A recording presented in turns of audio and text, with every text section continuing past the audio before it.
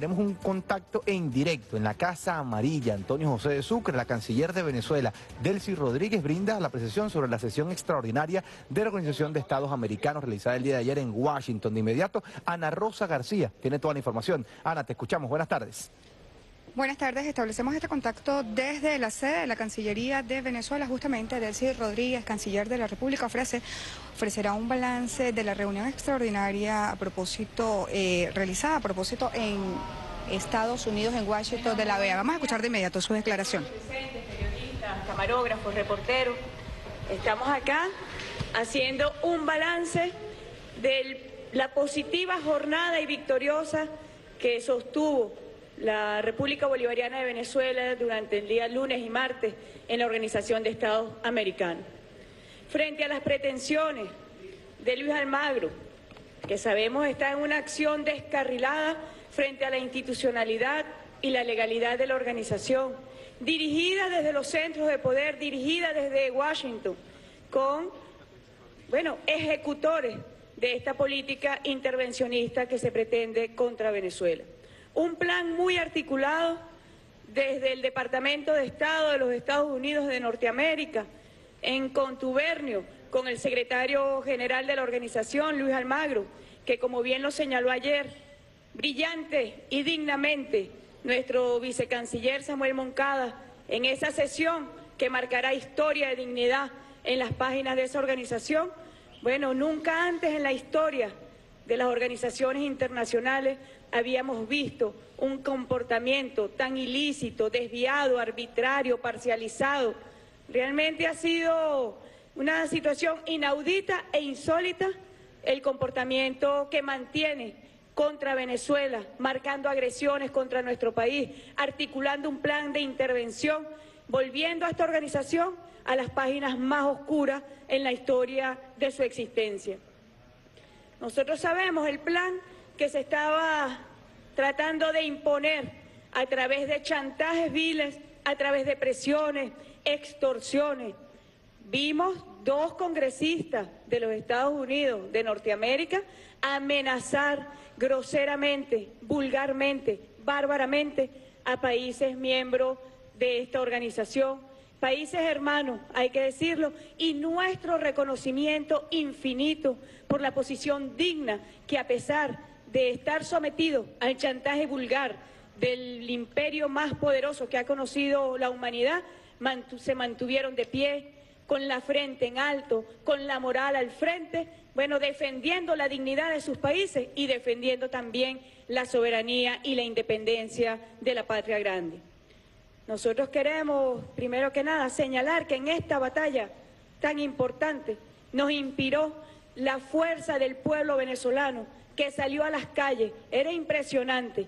Nosotros veíamos esas multitudes, esa marea roja de dignidad, como llamaba el comandante Hugo Chávez, y eso nos inspiró a mantenernos, eso nos inspiró a batallar por la dignidad, por la soberanía de Venezuela. Ahí vimos a un pueblo, ese pueblo le habló al mundo, ese pueblo le habló al imperio, ese pueblo le habló a los poderosos y a las oligarquías de nuestra región que están en esta obsesión agresiva, inamistosa e inaceptable contra la República Bolivariana de Venezuela.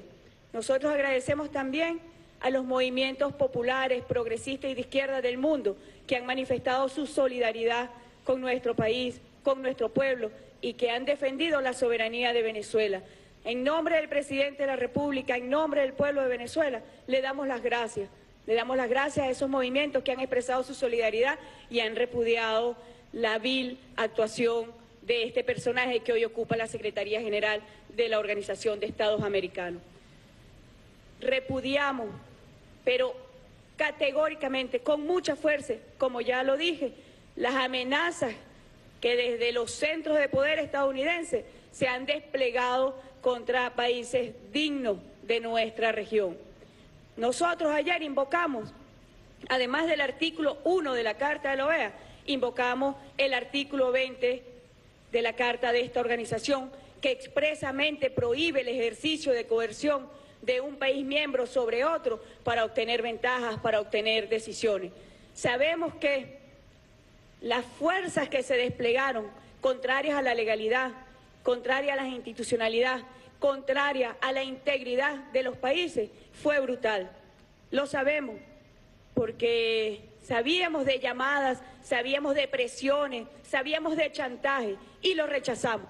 Y entre otras cosas, la ilegalidad de la convocatoria que se realizó ayer, porque es intrusiva, injerencista en la jurisdicción de un país miembro como es Venezuela. Además de eso, se estaba haciendo en el marco de una operación de chantaje y presión sin precedentes. Por eso la jornada de ayer marcó una victoria para la diplomacia bolivariana de paz. También lo digo, sin precedentes. Dimos una batalla, defendimos a la patria, defendimos a la nación, dirigidos por el jefe de Estado, dirigidos por el presidente de la República, Nicolás Maduro Moro. Por otro lado, también queremos agradecer a esos países que se mantuvieron de pie, que no se doblegaron ante las espantosas y brutales presiones y chantajes que desde Washington se imponían.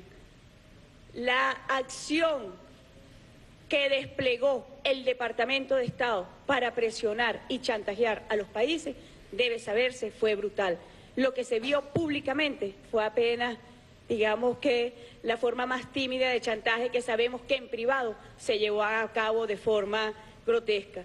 Nosotros queremos agradecer a los países que mantienen una posición respetuosa de la soberanía de Venezuela, que mantienen una posición respetuosa de la autodeterminación del pueblo de Venezuela, que mantienen una posición respetuosa de la jurisdicción interna de nuestro país. Estamos hablando en un lenguaje del derecho internacional, Estamos hablando en el lenguaje de las normas y principios que debe inspirar a la comunidad internacional en sus relaciones entre países. Estamos hablando del marco regulatorio que regula justamente la actuación de los gobiernos en el ámbito internacional y que ha sido vulnerado y violentado por un grupo de gobiernos minoritarios de nuestra región, tal como se expresó el día de ayer. Ya lo habíamos anunciado en la sesión del año pasado. No está aplicada o activada ninguna carta democrática contra Venezuela. Y el día de ayer, para que lo sepan, y lo repetimos y lo seguiremos repitiendo, esas pretensiones de la oligarquía venezolana, de la ultraderecha venezolana, actuando como cipaya de los centros de poder estadounidenses y de los centros imperiales del mundo, no fueron acogidas fueron derrotadas y por eso el presidente de la República ha dicho, ha sido una victoria contundente de la diplomacia bolivariana de paz. El jefe de Estado ayer llamó a un debate, a un debate nacional la Organización de Estados Americanos para el desarrollo de nuestros pueblos, para la garantía de paz de nuestros pueblos, para la garantía de estabilidad. Es un debate que está abierto y nosotros lo llevaremos a cada rincón de nuestro país y lo llevaremos también a todos los ámbitos regionales. Que se dé un debate. Nosotros lo expusimos ampliamente en la organización. La OEA fue creada en 1948 y desde entonces no ha podido mostrar un balance positivo de cuál ha sido su participación en cooperación, en diálogo genuino con los países de la región. Apenas con Petrocaribe que fue creada hace 11 años, o con el ALBA o con la CELAC, nosotros tenemos resultados concretos de cómo debe ser la relación entre los países, en la construcción de la cooperación, en el forjamiento de la unión de la patria grande latinoamericana y caribeña. El expediente que muestra la OEA es un expediente de vergüenza, de apoyo a golpes de Estado, de respaldo a invasiones militares a países de nuestra región por parte de la potencia militar más salvaje que ha conocido la humanidad. Nosotros sabemos también que la OEA hace silencio cómplice de las violaciones masivas a los derechos humanos que se dan en nuestra región.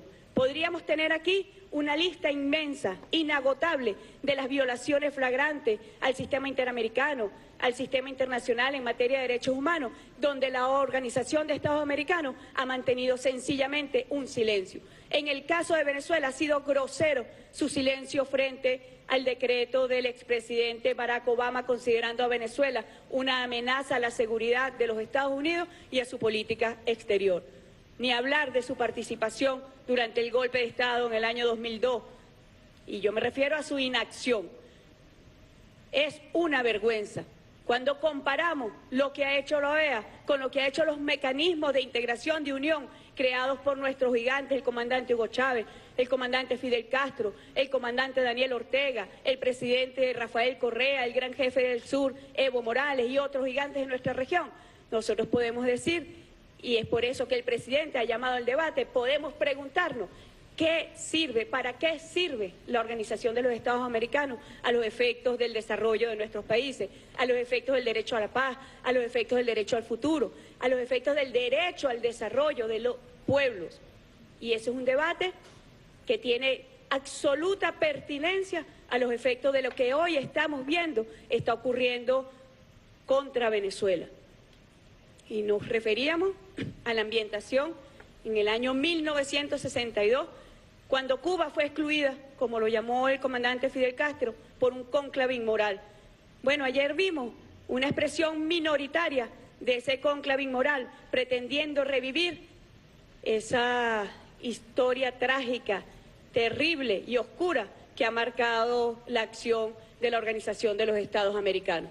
Es un instrumento diplomático al servicio de los Estados Unidos. Son empleados de las directrices intervencionistas del Departamento de Estado. Es una realidad y lo hemos demostrado. Y quien hace las veces de secretario general de esta organización es más, no es más que un ejecutor, un brazo ejecutor, conjuntamente con otros gobiernos de la región, para ejecutar el plan de intervención contra nuestro país.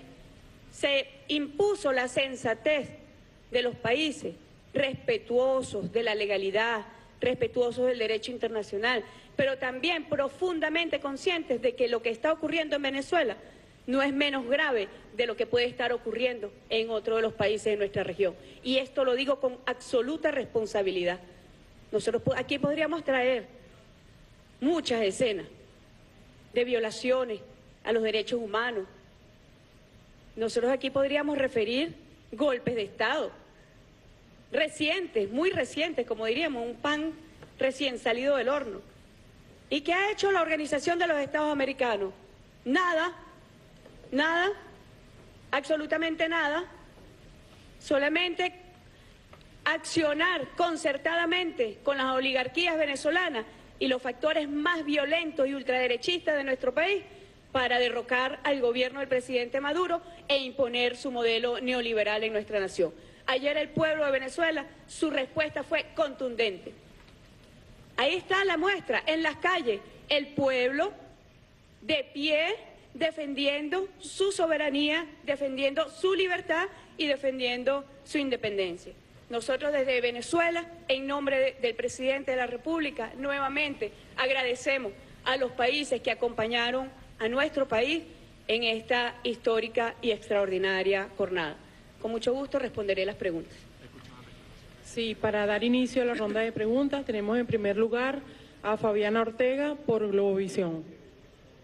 Buenas tardes. Eh, ministra, eh, canciller, ya es eh, público su rechazo y su repudio ante la solicitud de la activación de la Carta Democrática Interamericana en nuestro país. Sin embargo, ¿qué lectura pudiese hacer de la sesión del día de ayer, la lectura de que fuesen 20 los países que aprobaron para que se realizara la, la sesión extraordinaria del Consejo Permanente en la OEA? Y en segundo lugar, quisiera conocer, eh, de seguir en curso, en curso la solicitud del secretario general general Luis Almagro para la activación de la Carta Democrática Interamericana en nuestro país, ¿cuáles serían las medidas que tomaría la Cancillería venezolana al respecto?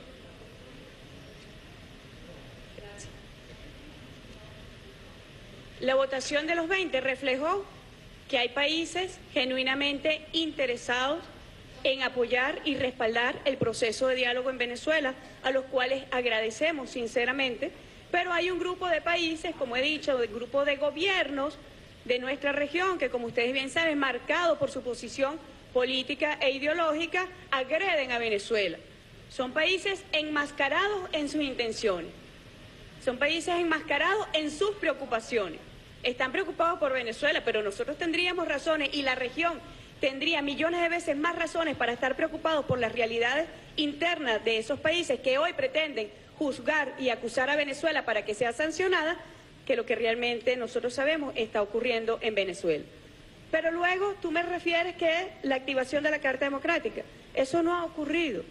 No se ha aplicado la Carta Democrática. En las dos sesiones, en las dos sesiones que se ha pretendido, la conclusión formal en acta es se toma nota del debate no está aplicándose ninguna carta democrática ni se ha activado ninguna carta democrática. Lo que se diga en los pasillos, lo que se diga en los medios de comunicación es distinto, pero a los efectos del proceso y de los procedimientos contemplados en la carta, inclusive para su aplicación o activación, no está prevista y te repito, no está en marcha ninguna carta democrática. Se tomó nota del debate que se pretenda ahora hacer una manipulación para que algunos voceros de la ultraderecha venezolana no pierdan su viaje que hicieron a Washington de rodillas, genuflexo, a pedir la intervención de Venezuela, bueno, esa es otra historia. Pero debe aclararse a los efectos procedimentales conforme a las normas de esa organización que no está activada ni se está aplicando la Carta Democrática Interamericana a Venezuela. Fue derrotada esa pretensión. Se tomó nota, es decir, se engavetó. Seguidamente, Daisy Buitrago por la agencia Thomson Reuters. Buenas tardes, canciller. Buenas tardes a todos. Eh, quería preguntarle por qué considera que la reunión de ayer fue un éxito cuando precisamente hubo 20 países que se manifestaron eh, para la búsqueda de soluciones a la crisis venezolana. Y también que me especificara cuáles son las acciones diplomáticas que siguen después de la sesión de ayer y si Venezuela ha pensado en medio de toda esta, esta situación salir de la OEA, si eso está planteado o se ha discutido en el seno del gobierno. Muchas gracias.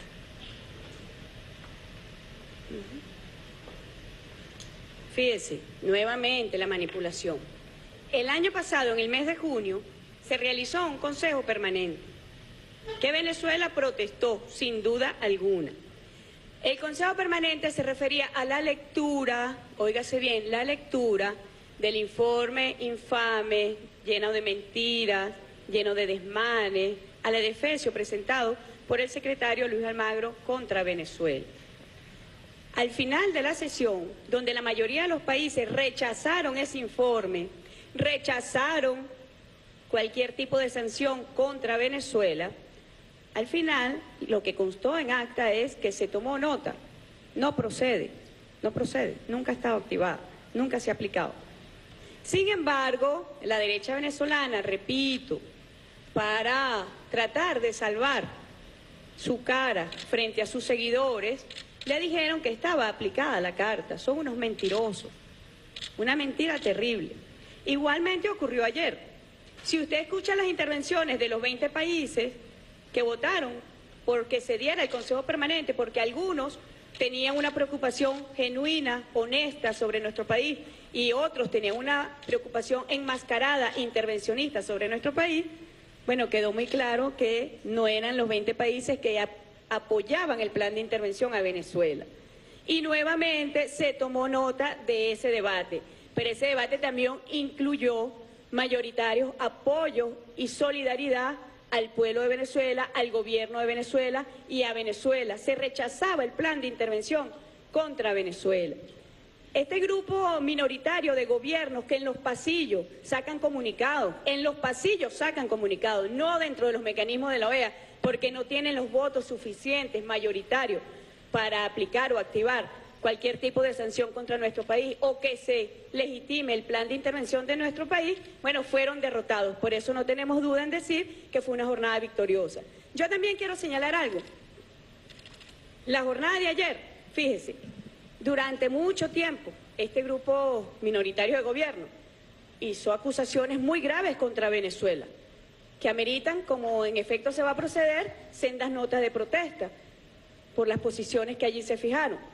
Pero cuando le tocó hablar al vicecanciller Moncada, no para mentir, cuando le tocó hablar para referirse a hechos históricos, porque además es un profesor, es un historiador, es un doctor en historia, para referir la verdad y la realidad sobre muchos de esos países, bueno, se indignaron, no les gusta escuchar la verdad. Y por eso es que la diplomacia bolivariana les molesta, porque es una diplomacia que dice la verdad. Así nos enseñó el comandante Hugo Chávez. Y así también lo mantiene el presidente Nicolás Maduro, que fue un extraordinario diplomático venezolano. durante casi siete años y nos enseñó cómo ejercer la diplomacia. ¿Y cómo se ejerce la diplomacia? Con verdad, con dignidad. Porque nosotros ayer defendimos principios, principios, empezando por el artículo 1 de la Carta de la Organización de Estados Americanos, donde se prohíbe, se prohíbe, dice, no existe concepto alguno que justifique la intervención en los asuntos de una jurisdicción interna de un país miembro. Lo prohíbe expresamente, es un principio fundacional de la organización, que por lo visto ha estado más en el, en el tinte, en el papel, que en la realidad.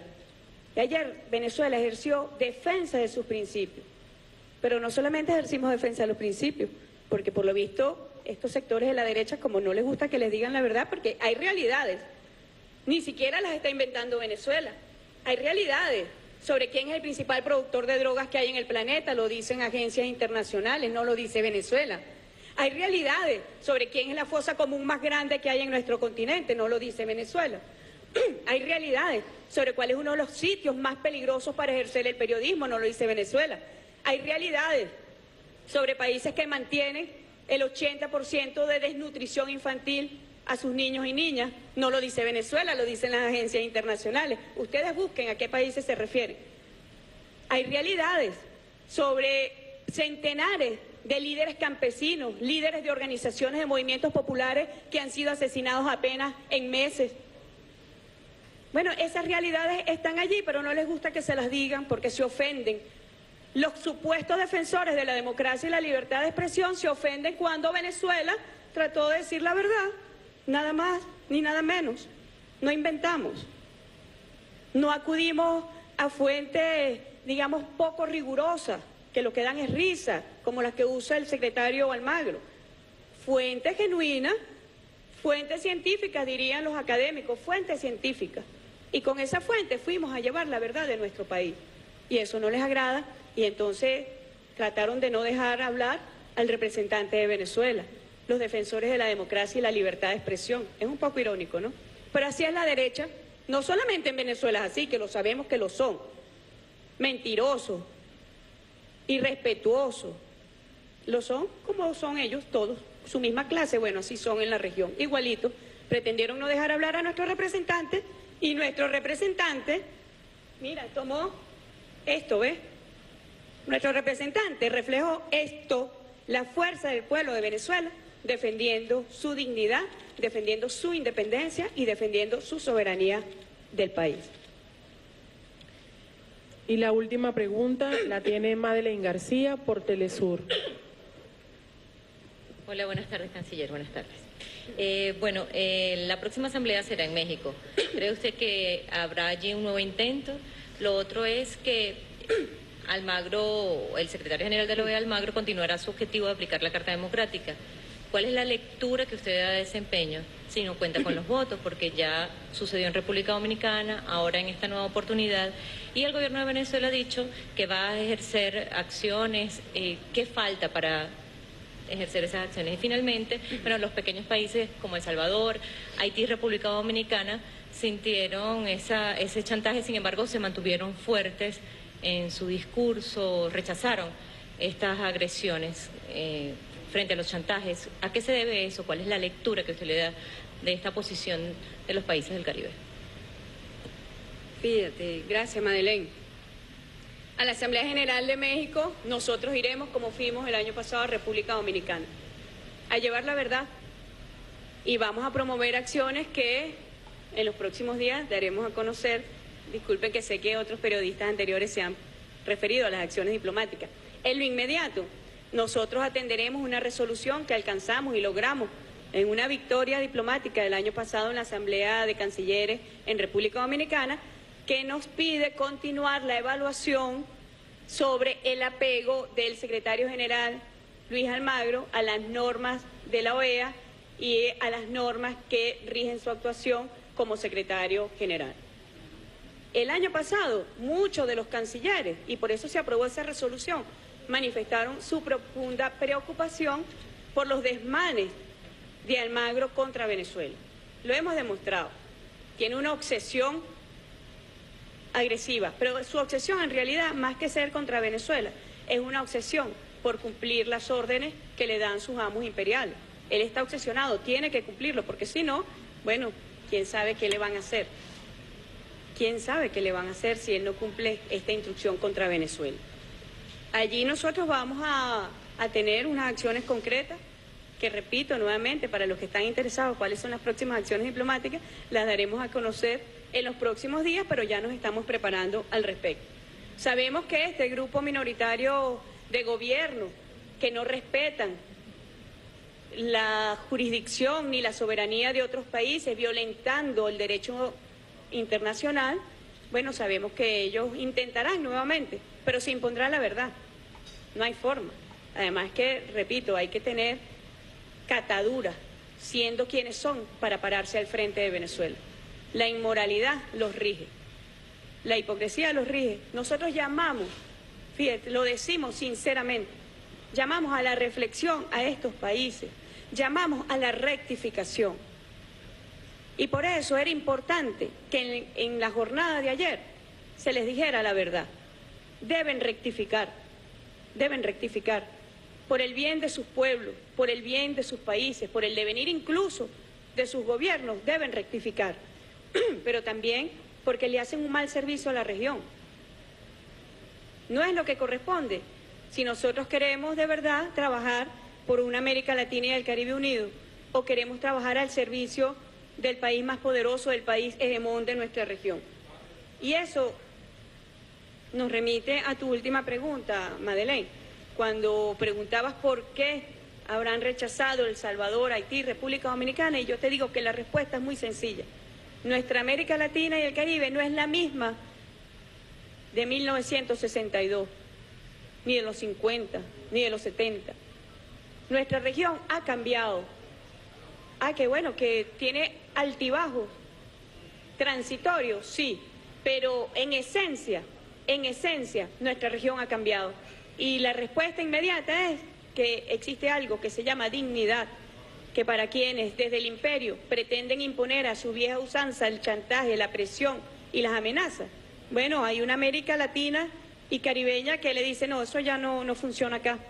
La intervención ayer de Haití es digna de nuestra admiración, de nuestro agradecimiento más profundo, porque conocemos de las vulnerabilidades que atraviesa este hermano país, donde Venezuela solamente ha llegado con cooperación y profunda amistad y, hermandad. La intervención de República Dominicana es digna de nuestra admiración y agradecimiento también, sobre todo porque República Dominicana, como bien lo saben, vivió una invasión estadounidense con complicidad de la OEA. Y apenas el año pasado se aprobó en esa Asamblea General de República Dominicana, se aprobó el reconocimiento al error que se había cometido con República Dominicana. ¿Y qué dijo República Dominicana ayer? La solución a los problemas que tuvo mi país en esa época fue una, fue una solución completamente errónea. ¿Cuál fue la solución? La invasión. Bueno, eso es lo que nosotros mantenemos permanentemente. Venezuela no va a ser un error imperial. No lo va a ser. El pueblo de Venezuela no lo va a permitir y los pueblos de la patria grande tampoco lo van a permitir. Muchas gracias, compañero. Buen día.